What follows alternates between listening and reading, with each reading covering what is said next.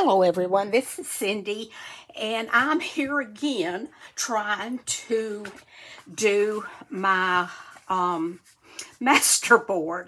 I don't know what happened. My video just would not upload so I'm going to do it again.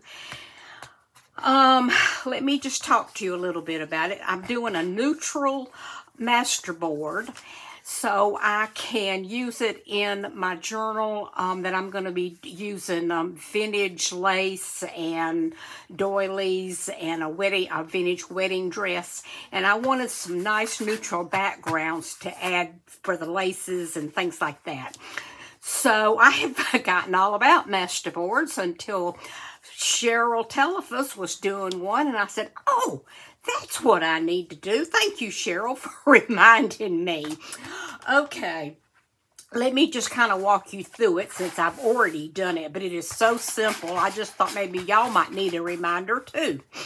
I used a 12 by 12 sheet of paper. It's cardstock. And it had um, a design on this side and then the pretty pink with the dots on this side. So I decided to use the other side.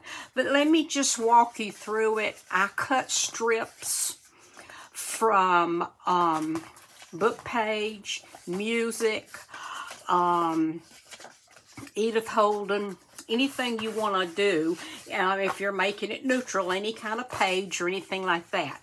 So what I did is I used this glue stick and I'm real impressed with it. I actually got it at Walmart. I had run out of my glue sticks and I didn't want to wait to order more. So I bought this. It was a pack of three. And lo and behold, it works wonderful. So I used my glue stick and I just took and I glued on the back and then I just, I laid them down like this. And then I would glue another one and I laid it down. And then I'd come back with some book page and put here. But basically, I used two-inch strips, and I covered this entire piece of 12 by 12 cardstock. And this is what I got.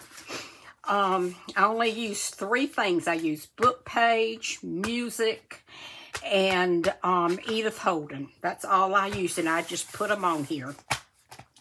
And um, now I'm going to cut out tags, pockets, um, all kind of things like that that I'm going to be using in my journal.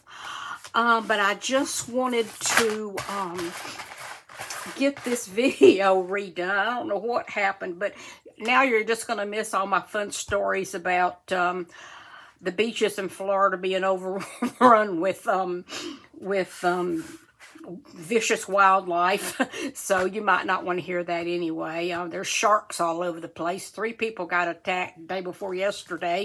Had to be life flighted out, so it's just kind of crazy down here right now.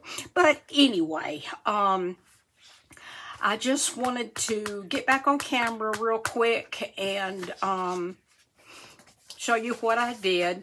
Um, I used, um, I also used some um, coffee dyed paper. So anything neutral you have, if you want to make a neutral um, masterboard, just grab it all out and then just start laying it down. And then to break up the monotony, you can lay one this way every once in a while. You can't go wrong. You can't make it wrong.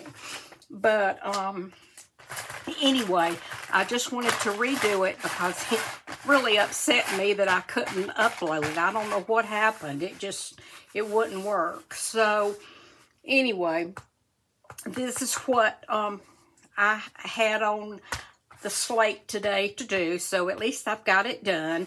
I hope y'all are having a good day, and if you have any questions, um, please don't hesitate to ask me.